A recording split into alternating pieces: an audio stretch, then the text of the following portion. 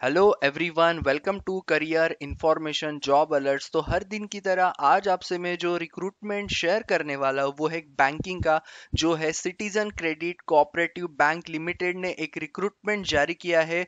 दो पोस्ट के लिए ये रिक्रूटमेंट है, एक पोस्ट है प्रोबेशनरी ऑफिसर का और दूसरा जो है वो है प्रोबेशनरी एसोसिएट्स के लिए। ओके क्या क्या इसके क्वालिफिकेशन है, उसके बाद में सिलेक्शन प्रोसेस कैसा है अप्लाई कैसे करना है, कौन से कौन से डॉक्यूमेंट ज़रूरी है, सारी इंफॉर्मेशन आपसे मैं इस वीडियो में डिटेल में शेयर करने वाला हूँ जो जो मेन कंटेंट है। उसके बाद आपसे मैं सारे लिंक भी शेयर कर दूँगा। आप जब ये पूरा वीडियो देख लोगे, आप लास्ट में डायरेक्टली अप्लाई ऑनलाइन या फिर अप्लाई हियर पे क्लिक करके आप डिस्क्रिप्शन बॉक्स से वो लिंक से आप डायरेक्टली फॉर्म फिलअप कर सकते हो। तो चलते इसके डिटेल नोटिफिकेशन की तरफ़। तो ये है इसका नोटिफिकेशन यहाँ पे मेंशन कर दिया है कि मुंबई, पुणे, नासिक, गोवा के लिए ये जो पर्टिकुलरली ये वैकेंसीज है।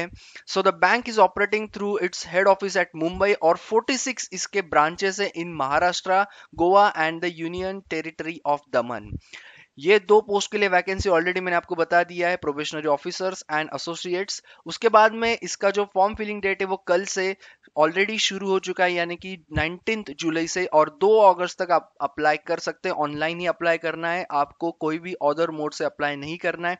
इसका एग्ज़ाम जो है वो अगस्त में होने के चांसेस है टेंटेटिवली और बराबर उसके सात या आठ दिन पहले आपको जो है इसका कॉल लेटर या फिर जो भी आपका इंटीमेशन होगा वो आपको मिल जाएगा.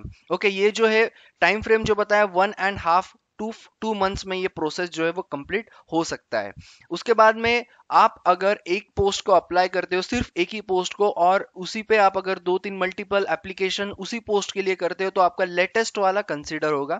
उसके बाद में अगर कोई आपके इसमें एरर होता है, समझो पहले आप अप्लाई करते हो, उसमें आपने कुछ गलत लिखा तो आप वापस से अप्लाई करोगे तो उसका टेंशन मत लो, क्योंकि आप आप जो लेटेस्ट अप्लाई करोगे, वही आपको कंसिडर होगा रिजेक्ट वगैरह नहीं होगा। उसके बाद में the process of registration of application will be considered completely if if only all the credential are submitted through online mode. उसके बाद में आप जब अप्लाई कर रहे हैं ऑनलाइन टेस्ट के लिए, आपका कॉल लेटर आएगा और आपका जो डॉक्यूमेंट वेरिफिकेशन है वो आपका टेस्ट होने के बाद होगा। यानी कि आपका जो ऑनलाइन टेस्ट है, उसके बाद में will be purely provisional without verification of documents candidates will be subject to verification of details documents when the candidates report for interview यानी कि अगर जब आपको इंटरव्यू के लिए बुलाया जाएगा शॉर्टलिस्ट हो जाओगे, तब आपका जो है इंटरव्यू के टाइम पे जब आप रिपोर्ट करोगे at the time of that आपके डॉक्यूमेंट जो है वेरीफाई होंगे। यहाँ पे कोई भी एप्लीकेशन चार्जेस कोई भी फ़ीस आपको नहीं है, ये फ्री ऑफ़ कॉस्ट ये फॉर्म है for the online test candidates are advise to check the bank website आप यहाँ से बैंक की वेबसाइट भी चेक कर सकते हो for just to know okay उसके बाद में बात करेंगे सबसे पहले पोस्ट की। प्रोफेशनल ऑफिसर का जो पोस्ट है simply graduate in any discipline with at least 65 percent marks और दोज हैविंग प्रोफेशनल क्वालिफिकेशन जैसे कि C A M B L L M M tech C F A C S I C okay तो ये सारी चीज़ें यहाँ पे ज़रूरी है। उसके बाद में experience qualified candidates up to thirty years of age जो है एलिजिबल है। देन मिनिमम जो इसका क्वालिफिकेशन एज लिमिट है वो है ट्वेंटी ईयर्स और मैक्सिमम जो है इसका थर्टी ईयर्स रहेगा। उसके बाद में candidate should indicate the percentage obtain in the graduation या फिर आपका पोस्ट ग्रेजुएशन होगा degree calculate to the nearest two decimal in the online application where CGP अगर आपका होगा हो सकता है आपका सीजीपी हो ग्रेजुएशन का। Okay uh, the same should be converted into percentage indicated in the online application if called for interview the candidate will have to produce the certificate issued by the appropriate authority. जो आपका वो conversion बताता है। तो वो आपको जब आप रिपोर्ट करके आपके पास कन्वर्जन जो लेटर रहता है इंस्टीट्यूट या फिर आपकी यूनिवर्सिटी का जो यूनिवर्सल रहता है वो आपको लेके जाना है ओके सो so, ये चीज़ याद रखना। उसके बाद में calculation of percentage by dividing the total marks obtained by candidates in all the subjects in all the semester by aggregate maximum in all subject irrespective of honors optional additional optional subject if any this will be applicable to all universities okay यानी कि अगर आपके 64.99 भी होते हैं तो आप eligible नहीं हो simply it will be consider और it will be treated as a less than 65 percent so आपके 65 एंड अबाव परसेंट होना बहुत ज़रूरी है टू अप्लाई नेक्स्ट जो सेकंड पोस्ट है, वो है प्रोबेशनरी एसोसिएट्स इसका भी graduate in any discipline computer operations के बारे में नॉलेज होना इसेंशियल है।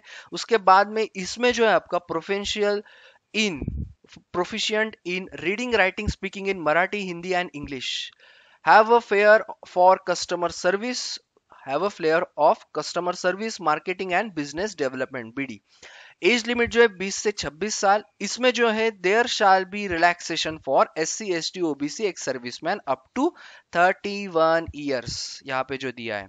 ओके okay, तो इसके बारे में एज के बारे में मैंने ऑलरेडी बता दिया। उसके बाद में सिलेक्शन प्रोसीजर भी मैंने शॉर्टली आपको स्टार्टिंग में बता दिया था कि ऑनलाइन टेस्ट होगा और फिर आपका पीआई होगा यानी कि पर्सनल इंटरव्यू होगा। The final selection of candidates will be basis of combined scores जो आपके टेस्ट और प्लस इंटरव्यू दोनों मिला के आपके मार्क्स कंसिडर होंगे फॉर मेरिट लिस्ट आखिरी सिलेक्शन के लिए। ओके इंग्लिश लैंग्वेज में होगा। अब बात करेंगे आपका जो है एग्ज़ाम पैटर्न कैसे होगा। ओके okay, और एक और एक चीज़। Separate online written test will be consider for probationary and probationary associates तो सेपरेटली इसका एग्ज़ाम कंडक्ट किया जाएगा। ओके, सो जो यहाँ के यहाँ का आपका ऑनलाइन टेस्ट का जो पैटर्न है वो कैसा रहेगा? चार सेक्शन आपको मिलेंगे। पहला जो होगा reasoning ability and computer aptitude उसमें 40 क्वेश्चन और 80 मार्क्स यानी कि एक क्वेश्चन दो मार्क्स के लिए। उसके बाद में इंग्लिश का होगा एक मार्क के लिए एक क्वेश्चन यानी कि 40 question 40 marks then general and जो आपका बैंकिंग अवेयरनेस है उसके भी 40 क्वेश्चन 40 मार्क्स एप्टी और न्यूमेरिकल एबिलिटी का जो है वो भी 40 क्वेश्चन और 40 मार्क्स यानी कि reasoning ability and computer aptitude को जो दो मार्क्स है that will be a good score और 160 क्वेश्चंस होंगे और आपको मार्क्स होंगे यहाँ पे 200 कंपोजिट आवर्स जो है सबका मिला के 120 सेक्शनल टाइमिंग नहीं है यहाँ पे आपको कॉम्पोजिट मिलेगा। सारे सेक्शन आप 120 मिनट में आपको अटेम्प्ट करने हैं यानी कि दो घंटे में। देर विल बी पेनल्टी जो है आपका वन फोर्थ यानी कि 0.25 मार्क्स आपके कट हो जाएँगे।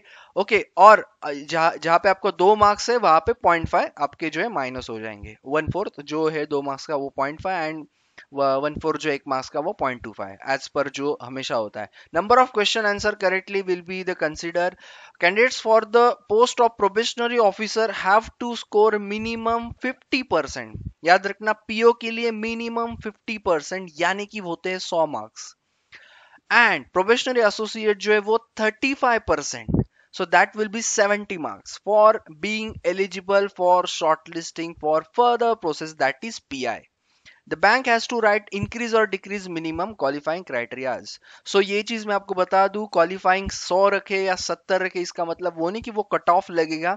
बैंक के पास ये अथोराइज है, ये राइट्स है कि वो ये इसको चेंज भी कर सकते तो आपको मैक्सिमम मार्क्स लेना है। ये नहीं कि 100 लेके आपको बैठ जाना है 70 लेके आपको बैठ जाना ऐसा नहीं है। Candidates will be shortlisted for personal interview based on their performance and online test, educational qualification, experience based upon their documents. The names of the candidates shortlisted for personal interview will be uploaded on the website. आपको official website पे वो सारी details जो है वो मिल जाएँगे अब बात करेंगे next जो आपका होगा what will be your training period या फिर आपको जो है रिन्यूमिनेशन वो सारी चीज़ें आपको क्या क्या मिलेगा सो प्रोबेशनरी ऑफिसर का जो है so training will be period of 24 months तो मतलब लगभग ये दो साल इसमें आपको इमेलमेंट्स जो है, वो है first six month thirty thousand next six month thirty five thousand उसके बाद में देयर आफ्टर आपका जो ऑफिसर कैडरे में आप आ जाओगे that is C T C five point five nine 5.59 आपका होगा। On successful completion of training and subject to performance they will be confirm and absorb by the officer with CTC 6.55 okay okay, ये आपका last में रहेगा जब आप at the current level of D so ये सारी चीज़ें आपको मतलब आखिरी आपका जो सैलरी वो 6.55 रहेगा जो आपका सब कुछ कंप्लीट होने के बाद। अब बात करेंगे बहुत अच्छी है सैलरी और बहुत अच्छी अपॉर्चुनिटी है। टू अगर आप बैंकिंग में करियर स्टार्ट करना चाहते हो प्रोफेशनरी एसोसिएट्स की बात करेंगे। सो so, यहाँ पे है training will be for minimum period of 12 months okay यानी कि एक साल। इमुलमेंट्स आपको जो होंगे ड्यूरिंग ट्रेनिंग वो होंगे बीस हज़ार. On successful completion of training and subject to performance it will be 4.38 आपको मिलेगा at current levels of DA so ये है आपका, यानी कि सीटीसी के साथ यहाँ पे कंप्लीटली इंफॉर्मेशन दे दिया है इन्होंने. अब बात करेंगे हाउ टू अप्लाई सो आपको अप्लाई कहाँ से करना है वो सबसे पहले मैं बता दूँ. उसका लिंक भी मैं आपको डिस्क्रिप्शन में शेयर कर दूँगा. दोनों लिंक है पीडीएफ भी और ऑनलाइन एप्लीकेशन का भी, ताकि आप कहीं पे भी जाने की आपको ज़रूरत ना पड़े ये वीडियो देखने के बाद। यहाँ से आपको शुरू करना है, जैसे आप आईबीपीएस के फॉर्म भरते हो, वैसे ही click here for new registration से आपको शुरू करना है। And then you need to fill up this आप सेवन नेक्स्ट करो। ओके उसके बाद photo and signature then details preview and uploads वही सारी चीज़ें। उसके बाद में इसमें अपलोड क्या क्या करना है वो मैं आपको बता दूँ। So to register application you should click for click here for new registration तो ये ज़रूरी है। उसके बाद में बात करेंगे नेक्स्ट जो है आपके सारे डिटेल्स जब आप फिलअप कर लोगे, आपको क्या क्या डॉक्यूमेंट ज़रूरी है। एक तो फ़ोटो आपको लगेगा जो हमेशा लगता है 50 यानी कि 20 से 50 के के अंडर जेपीजे फॉर्मेट में सिग्नेचर जो है वो लगेगा आपको लगभग यहाँ पे 10 10 से 20 के याद रखना ब्लैक इंक पेंग जो आप आईबीपीएस में भी अप्लाई कर रहे थे या फिर किया होगा तो वही आपको डॉक्यूमेंट्स यहाँ पे लगेंगे। उसके बाद में scanning the documents will be completely JPG format में आपको करना और ये पिक्सल भी दिया, है। अब बात करेंगे और एक चीज़। हैंड रिटर्न आपको चाहिए सो आए आपका नाम और आपको ये जो सेंटेंस है वो पूरा लिखना है। रनिंग हैंड राइटिंग में कोशिश करना ब्लैक से ही लिखो सही रहेगा। एंड उसको स्कैन करो। ये आपको 50 से लेके 100 केबी तक आपको जेपीजे फॉर्मेट में चाहिए। ओके okay, उसके बाद में और और एक चीज़ आपको जो चाहिए है वो आपको है लेफ़्ट थम जो बताना रहेगा 20 से 50 के बी सो so, ये चार चीज़ें जो आप आईबीपीएस या एसबीआई जो भी एग्ज़ाम में अप्लाई करते हो आपको ये चार चीज़ें लगती है। वही चीज़ें यहाँ पे आपको अप्लाई करना है। अप्लाई करते टाइम स्कैन करना है या फिर अप्लाई करते टाइम अपलोड करना है। ओके okay, सो so ये सारी चीज़ें बहुत ज़रूरी है। Then exam centres Mumbai Pune Panaji. Okay okay, उसके बाद में मारगांव और जो है मपूसा। ये सारे इसके जो एग्जामिनेशन सेंटर्स आपके रहेंगे। Okay no request for change in exam centre and all that download of call letters तो खैर मैं आपको खुद बता दूँगा या फिर आपको मैं लिंक शेयर कर दूँगा या फिर आपको मेल भी डायरेक्टली इंटीमेशन आ जाता है जब भी, और अगस्त में ही होगा प्रोबेबली क्योंकि इनको फास्ट जो है ये प्रोसेस खत्म करना है दो महीने से पहले पहले ओके okay, uh, उसके बाद में candidates reporting late after the reporting time specific call letter तो उनको परमिट नहीं किया जाएगा वो सारी चीज़ें जो जनरल इंस्ट्रक्शन है वही यहाँ पे भी है। ओके देन डॉक्यूमेंट्स वही लिखना जो आपके सही है परसेंटेज एंड ऑल दैट क्योंकि वो बहुत ज़्यादा ज़रूरी है इसमें लिखना। ओके okay, क्योंकि डॉक्यूमेंट वेरिफिकेशन 65 परसेंट है याद रखना वो बहुत ज़रूरी है। ओके okay, सो so ये था पूरा नोटिफिकेशन जो जो मेन चीज़ें थी बाकी बहुत सारी चीज़ें होती है लेकिन वो मेरे ख्याल से सबको पता ही होता है और जो इंपॉर्टेंट है वो सारी चीज़ें मैंने बता दी है। सो so, अप्लाई करना है तो मैं लिंक आपको दे दिया हूँ शेयर कर दिया हूँ ओके ऑलरेडी और आप आपको अगर ये पीडीएफ भी चाहिए तो उसका भी लिंक मैं दे दिया हूँ सो आप जाके वो भी चेक कर सकते हो। एक वीडियो एक बार देख लो तो आपको दिक्कत नहीं आएगा अप्लाई करते time so thank you all and all the best ऐसे ही आपके लिए मैं वीडियोस जो है वो लाता रहूँगा ताकि आपका जो है जो भी uh, आपके लिए सुटेबल है आप उसको अप्लाई कर पाओ। आपके दोस्तों के साथ भी मैक्सिमम ये सारी चीज़ें शेयर करो।